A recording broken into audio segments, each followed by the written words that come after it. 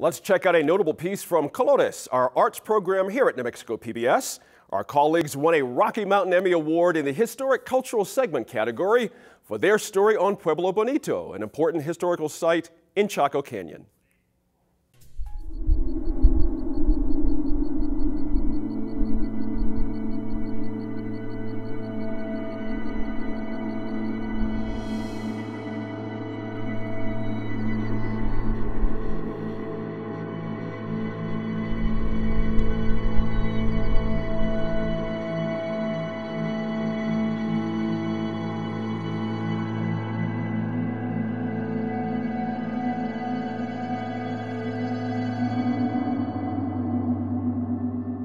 Hidden by its remote location is one of New Mexico's great works of architecture.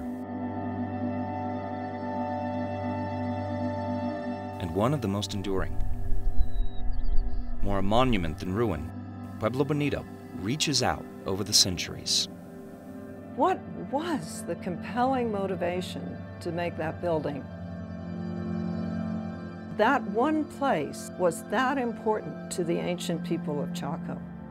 And not just a group, but all these groups over 250 years.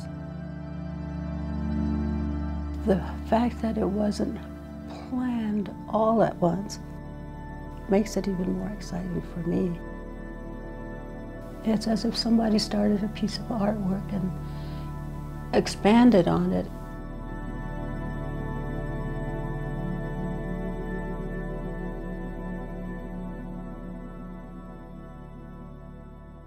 Some people say that the bottom level is basket maker, and that's 600s. And then you have the beginning structure of it in the about 850, and layer after layer, five major stages. And by 1120, it's sealed off. People's lives, people's fingers, people's touches, are people's minds, people's emotions are all in it. You know, you haul rock from on top of the cliffs all the way down. And you go cut them up, and, you, you've cut your finger in the meantime, and your kids are screaming, and it's in that place. Just Bonito alone, not all the other Chaco sites. It's just incredible.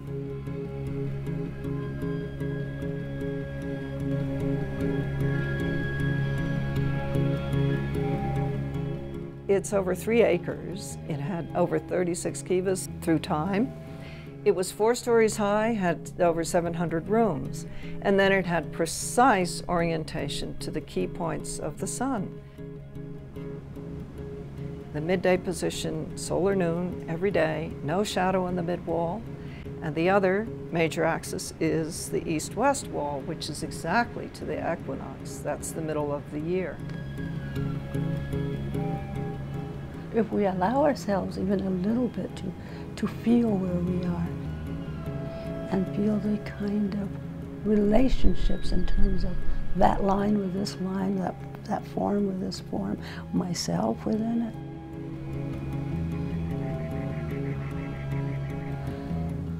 Day after day, night after night, year after year, watching the drama in the sky happening, watching the drama on the land happening and seeing what the points are around you. Uh, it's, it's all there. What we think about the world is all encoded in those walls.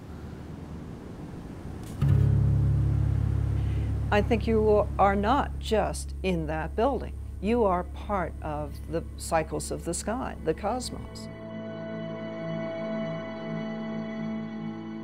Bonito was not probably built by one person with a big dream, but simply that people were moving around that land, knowing it so well, and becoming a part of that place.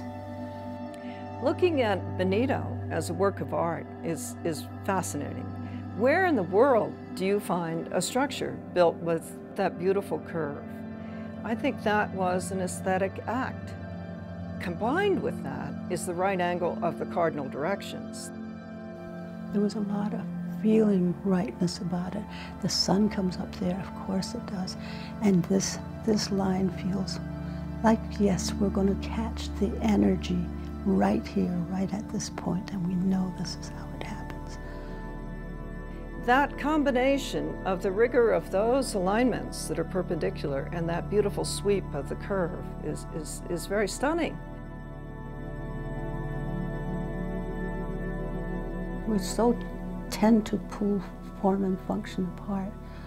But I think if you're doing things unconsciously, with just letting the flow come through you, that's what the spiral is about. Just letting the, the, the energy come through you. Then you do something as eloquent as that. How do you tell the story of such enigmatic stuff? The only thing to do is go back to what's there. It's still talking to us. It's still alive.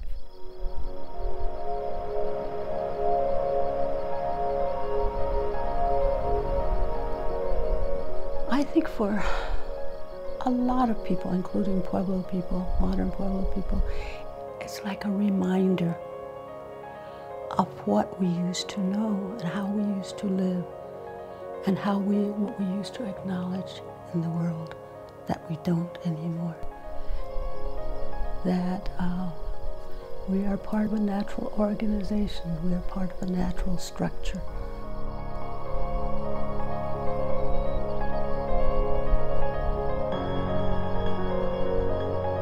We never had a God. We never had a superhuman.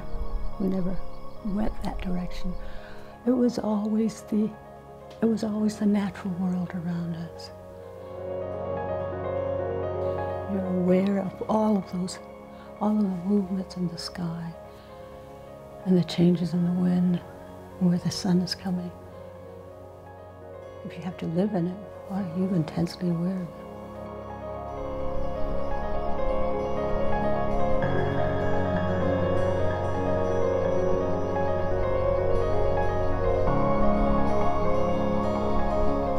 One of the big things about what we got in terms of philosophy, modern Pueblo people from Chaco times, is that the world is about movement. And people on this, on this whole continent had the idea that our relationship with the natural world, with the sky, with earth, with landforms, was the most important thing that there is